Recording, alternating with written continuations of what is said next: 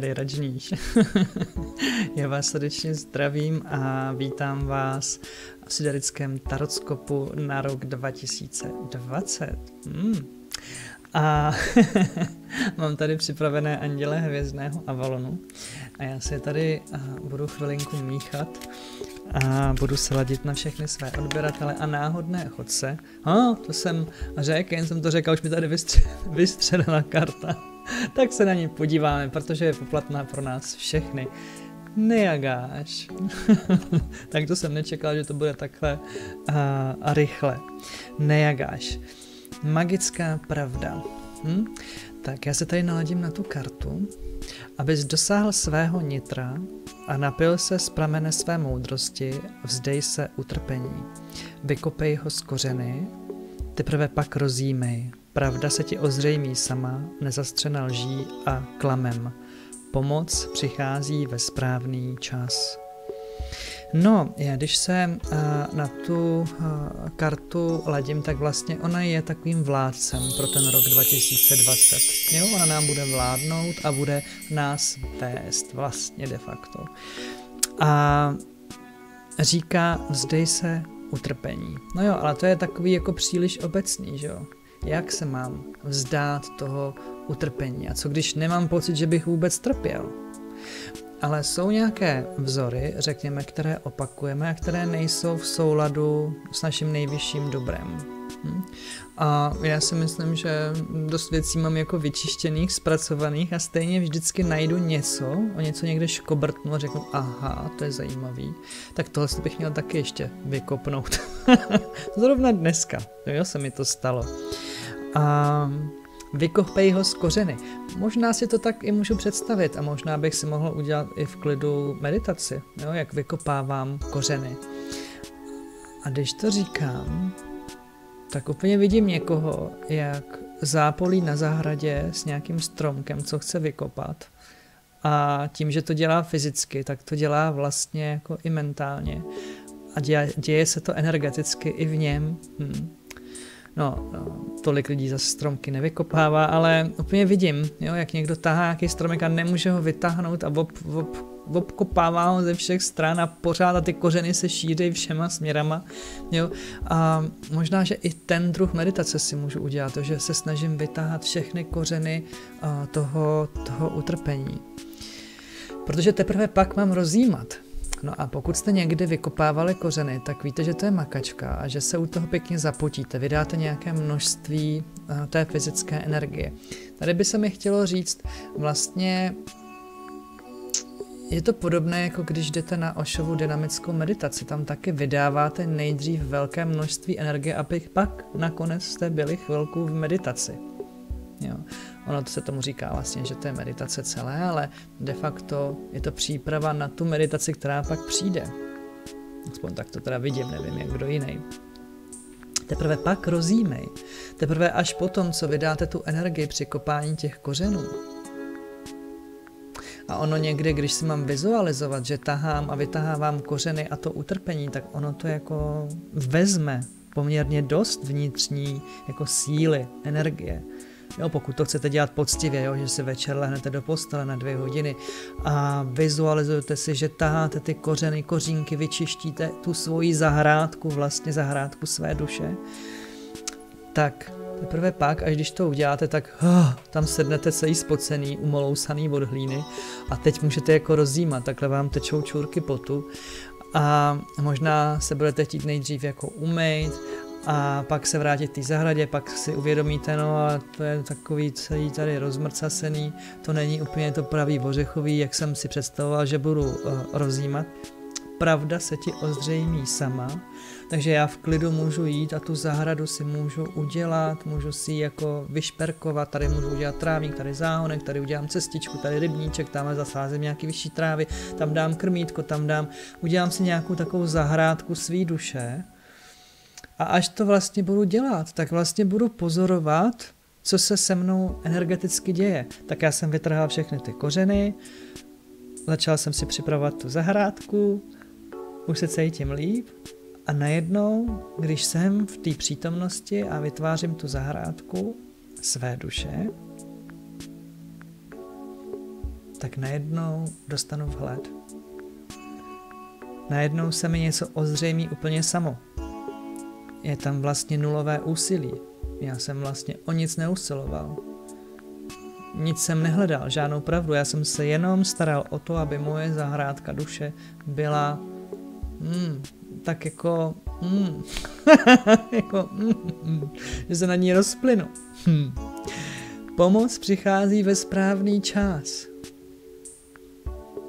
A možná jste si říkali, tak teda mohl někdo přijít a pomoct mi s tou zahradou a vykopat to utrpení. Znáte ten pocit, jo, že tak vy jediný v té rodině se tady o něco snažíte, vy tady duchově makáte vlastně za všechny, oni to ani nevědí, ani to nikdo nevocení a zase já mám tady teď makat. Pomoc přichází ve správný čas, až když mi kopu to utrpení z kořeny, až když začnu tu zahrádku, získám nějaký vhled, protože se mi něco otevře, tak pak přijde nějaká pomoc. A teď ještě není řečeno jaká. Možná to bude příval krásné výlí energie, která do vás se stoupí najednou, třeba se budete cítit lehčí a vy budete najednou vědět, že jo, takhle, takhle, to, takhle jsem si to nějak představoval, takhle lehce tím a rokem půjdu. Chtělo by se mi říct, že hm, jste minulý rok na tom pracovali. No jo, ale to jste vládce pro rok 2020. A pozor, magická pravda. Magická pravda tohoto roku je, a jsem si podrobila ten svou moudrý vůz, že kdo koncem roku 2019 neprošel branou do tmy a neutkal se se svými strachy, s tím svým utrpením vlastně, tak vlastně v tomhle roce bude víc manifestovat toho, nebo to, čeho se bojí, než to, co je v souladu s jeho duší. Jo, takže buďte rádi za to, že jste duchovně makali minulý rok. Já říkám, moji odběratelé na mém YouTube kanále mohou být tak nějak v klidu. Aspoň když si vyslechli tu věžbu, tak to nějak já nemůžu říct, že by byla všemocná ta věžba, ale mám takový pocit, že člověk dostane nějakou inspiraci, něco se vyčistí už jenom tím, že to poslouchám, tak taková hru za to snad pro ty mé odběratele nebude. Doufám. Přeju si to. A magická pravda a neznamená, že musí být nutně krásná pravda. Jo, to my tak máme uložený, že magická pravda to je, ují, že se nad tím tak jako rozplyneme, ale nemusí to tak být. Magická pravda je právě v tom, že se ukáže ten magický rozměr té pravdy. Tak tohle si smanifestoval na základě svých strachů, tohle si manifestoval na základě svých láskyplných uh, myšlenek. A teď ty láskyplné myšlenky jsou v duchu, že prosvětluju svůj život a přijímám sám sebe. A přijímám svůj život takový, jaký je a nesnažím se předstírat, že je jiný.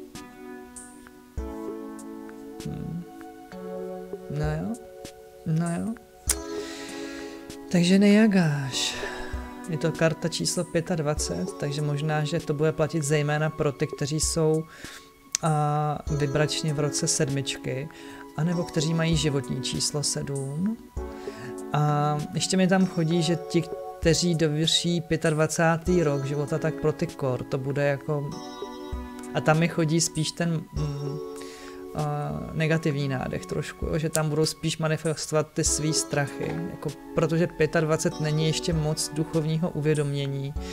Mm, prosím vás, to neříkám, že nemůže být 25-letý člověk duchovně uvědomělý, jenom mi přijde, že to je ještě z části jako takové nevinné. Ta nevinnost tomu dává určitou ochranu, ale zároveň jako nějakou lekcí projít musíme. Jo? Takže v těch 25 jako kdyby jsme se měli něco a, naučit tak to mi chodí pod tím nejagášem.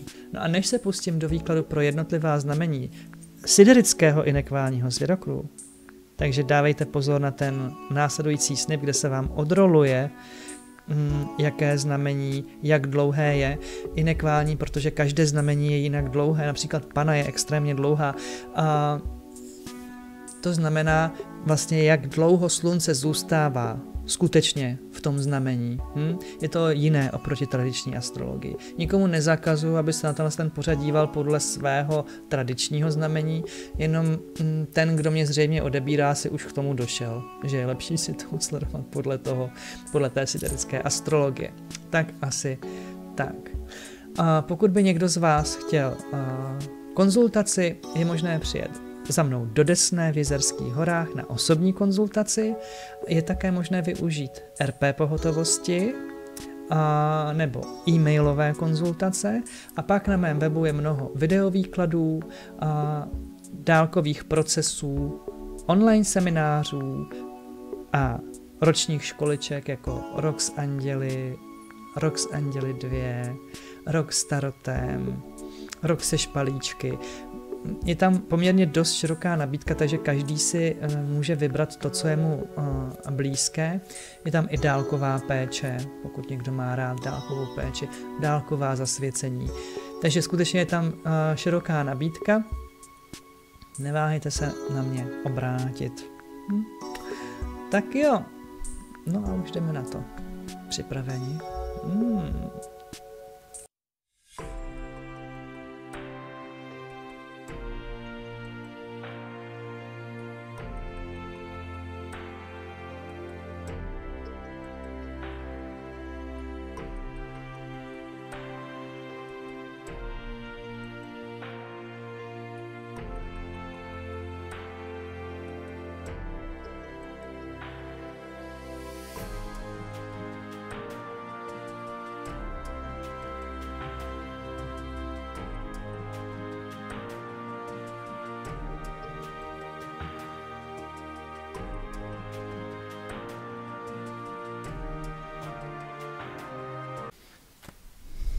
Milé váhy, já vás srdečně zdravím a vítám vás u vašeho čtení. Já si tady domíchám karty.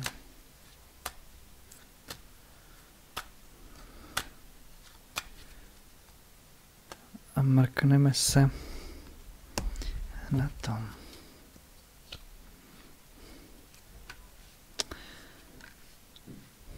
Hmm, je tady poměrně dost jako vaší sebelásky ale chodí mi pozor, pozor, aby to nezavánělo jako sobectvím.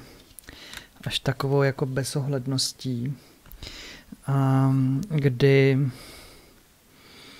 mm, by to mohlo dopadnout pak tak, že si dokážete představit ten život jako jenom sami. Eh, kdy ten druhý je pro vás jako víceméně na obtíž, jako protože vám vlastně kříží plány. Jo, um, to neznamená, že by z vás nevyzařovala láska, ale příliš jako silně. Příliš silně a to asi není prostě cíl, jako tomu byste měli nějak zamezit. Když se dívám na výdej uh, energie, tak ten tady jde uh, vyloženě na to podržet si stav takového jako mm, bohatství, stav, ve kterém se cítím dobře, protože jsem zajištěný. Um, a nebo v mé jako společnosti, v mé skupině lidí jsem zajištěný. Hmm. Výdaj energie daný jako do pocitu, když něco mám, tak se o to starám, nechci, aby to přišlo v niveč. Když se dívám na výdělky, tak vám tady může uniknout poměrně dost velká šance, jako vydělat si větší množství peněz a fakt jako ochlup. Protože jste moc dlouho rozmýšleli, protože jste pro jednou nedali na svoji intuici, protože a opravdu velký balík peněz vám může uniknout v roce 2020. Takže tam jako bych byl opatrný v tom, že když mi přijde nabídka, tak jako si okamžitě procítit, mm, v duchu se rychle poradit se svým vyšším já, rychle se rozhlídnout na možnosti, a rychle se přeptat těch, kterých se to týká, jako rodiny, jako jestli jo, ne, co říkají, a pak prostě se rozhodnout, aby to nebylo, že mi to uniklo, ale že jsem se teda rozhodnul, že ne, anebo že mm, jsem se rozhodl, že jo. a přijde mi, že by bylo velká škoda si tenhle ten obrovský jako balík peněz nechat utíct. A to je fakt jako obrovský balík peněz. Eh, když se dívám na eh, iluze, eh, tak ty se tady dotýkají jako, no jak bych to řekl, jako jsou tady nějaké iluze v duchovním světě prostě, jo. Ve vašem duchovním vnímání světa, nebo ve vašem pojetí spirituality, nebo ve vašem uh, pojetí víry. Nějaká iluze tam je. Vám se to rozkreje, jako to není, že by to měl někdo diagnostikovat, nebo že byste se snad měli cítit provinil kvůli tomu, to, proto to neříkám. Jenom, že a vám dojde jako samotným, čím jste na sobě páchali podvod. Jo? A ten podvod je trošku v tom, že jste se od něčeho odpoutali. Od něčeho jste se jako odpoutali, co bylo pro vás důležitý. A tím vám přijde na jednou informace, jakou hodnotu to pro vás vlastně mělo. Jo?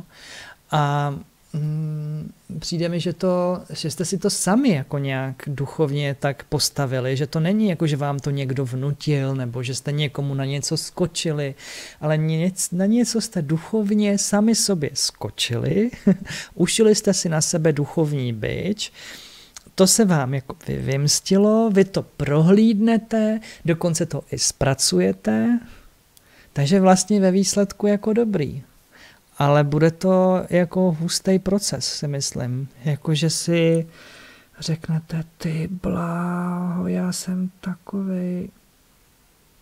No prostě si tam něco řeknete, tím si to schrnete a už víte, že to nikdy nezopakujete, nebo už budete vědět, že prostě tudyhle cesta jako nevede v tom duchovním světě. Ale je to váš proces, netýká se nikoho jiného a ten podvod jste si jako na sebe ušili sami jo, nějakým svým strachem, nějakou svou jako opatrností, jo, něč, něčeho jste se chtěli jako vyvázat, z toho jste se vyvázali a pak jste zjistili, jak jste na to jako doplatili.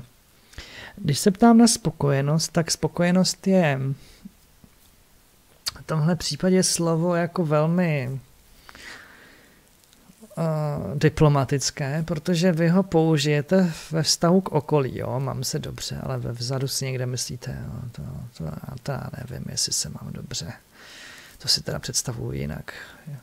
jako představujete se jinak to, že se máte dobře. Ale v rámci svých možností se cítíte dobře.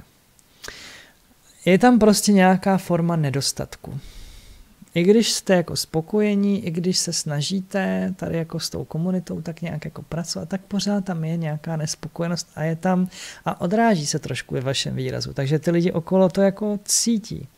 A vy se zároveň bojíte být jako upřímní, protože co kdybyste si náhodou že hrali?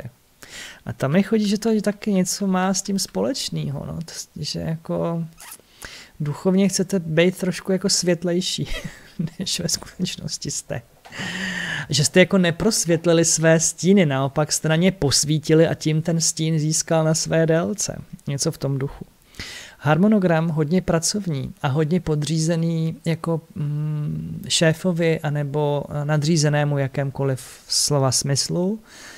A je tam pocit, že nestíhám, ale ten harmonogram je prostě pevně daný a já se ho musím držet. Takže práce, to je můj harmonogram na rok 2020 určuje to chod firmy nebo harmonogram nějaký větší skupiny nebo tomu, čemu jsem podřízený. Ale dává mi to klid, jo, aspoň někde mám nějakou jistotu, nějaký řád, něco, na co se můžu spolehnout, o co se můžu opřít.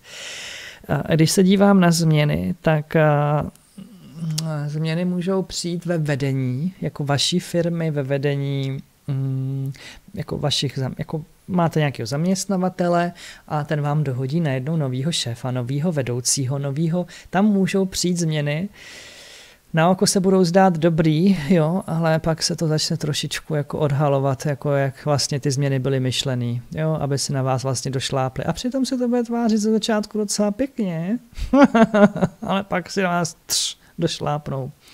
A vy budete muset trošku víc makat, no. Když se dívám na vize, tak vize se tady točí kolem domova, kolem baráku, kolem nemovitostí, kolem pozemků, a kolem cest a, ve smyslu stěhování se do jiných lokalit, a jestli by nebylo fajn změnit prostě město, jestli by nebylo fajn změnit stát, třeba se ostěhovat do Bombaje nebo jo, kde jsou nějaký nižší životní náklady třeba. Nevím, no tak to tak vám bude lítat tou hlavou takový různý představy. Jo. Hm. Tak, když budete upřímní v roce 2020 k sobě, tak vám přijdou peníze. Takže ano, tadyhle by mohla hrát roli ještě nějaká falešná morálka. Tak prosím vás, hlavně ne falešná morálka. Jo? Když budete v meditaci, tak budete naplnění.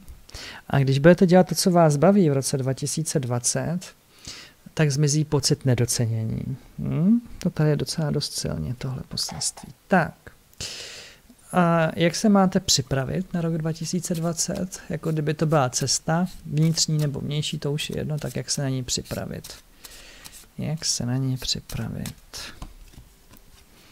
Z čeho máš těžkou hlavu? Proč? Přestat myslet, to bude asi to nej, nej, nej, co můžete udělat. Nedělat si příliš mnoho uh, starostí.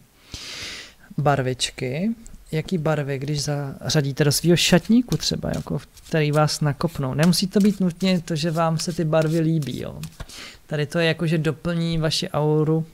No, to je kombinace taková zvláštní, jako červená a ta tmavě modrá, která přechází tak trošku jako do zelena. Já to s tím tou kartou zahýbu, abyste to viděli.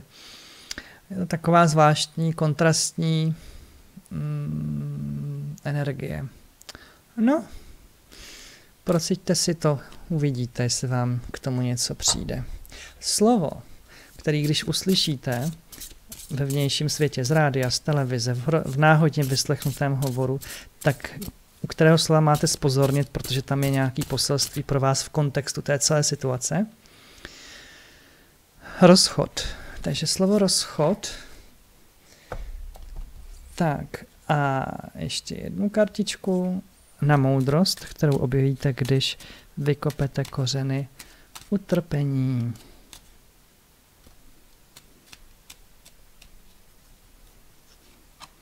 Posvátný dobytek, čas Velikonoc. Co si vykoleduješ, závisí od velikosti tvé pomlásky a umu přednést verše. Nechej být, co není tvé.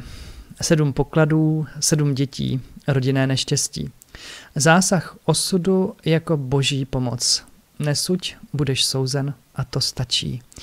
Tlachání k ničemu nevede. Odčenáš.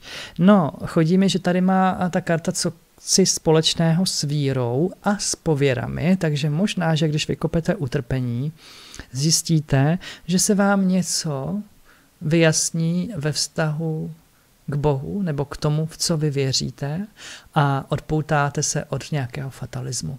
Tak tak. No a já se budu těšit někdy příště. Papa.